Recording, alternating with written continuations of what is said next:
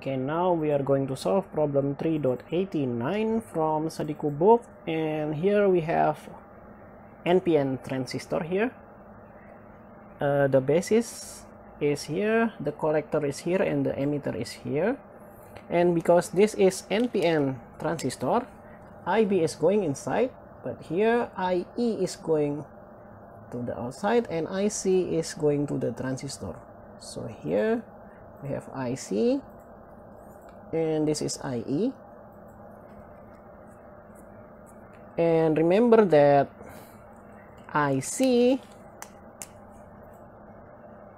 is actually beta times IB and beta is given. Beta is 100 so IC is actually 100 times IB okay let's now go to the analysis and we start from this loop here. I name this loop B for base. So at loop B. We have this voltage source voltage source uh, and the current is flowing from negative to positive so we will have negative sign and the value is 2.25 plus and this is another voltage source or battery. And the current is flowing from negative to positive and so again we will have negative sign and the value is 0.7 volt plus this is 100 kilo ohm so 100 times IB because it's kilo ohm the unit of IB will be milliampere and plus the voltage across base and emitter. So here we will have plus and minus. And the voltage is given. It is VBE is 0.7 so 0.7 and the current is flowing from positive to negative. So it is positive. And the value is 0.7 and this will equal to 0 because all components are done here. And let's do some math here. Minus 0.7 and 0.7 will cancel each other. And so 100 IB is equal to 2.25 okay now let's save this as equation number one and we will move on to the second loop here. Okay for the second loop because the current is flowing to the transistor here.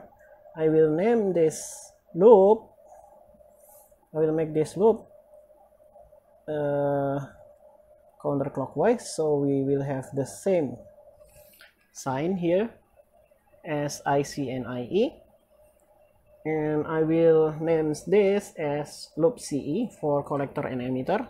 So let's do add loop CE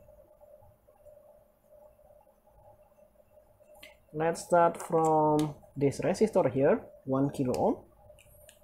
1 kilo ohm.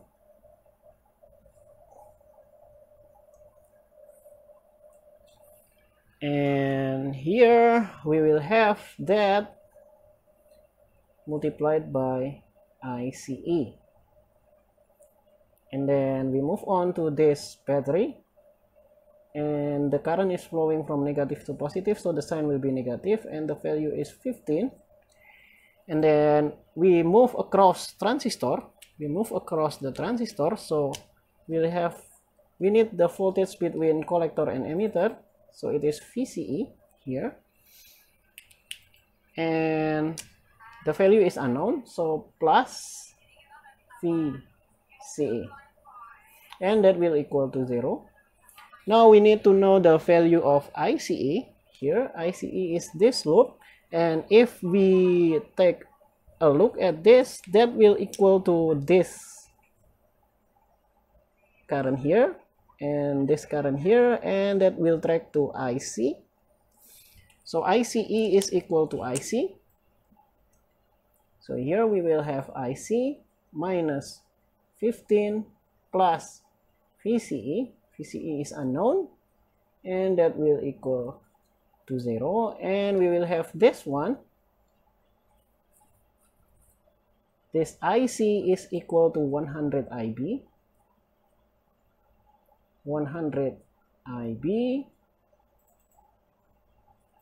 minus 15 plus VCE is equal to 0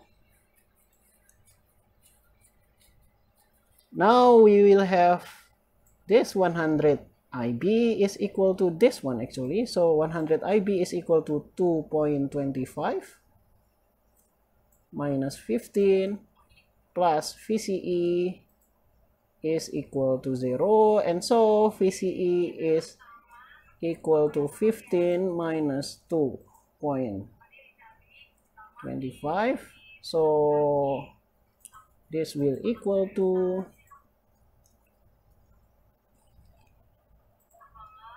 Twelve point seventy five volt VCE.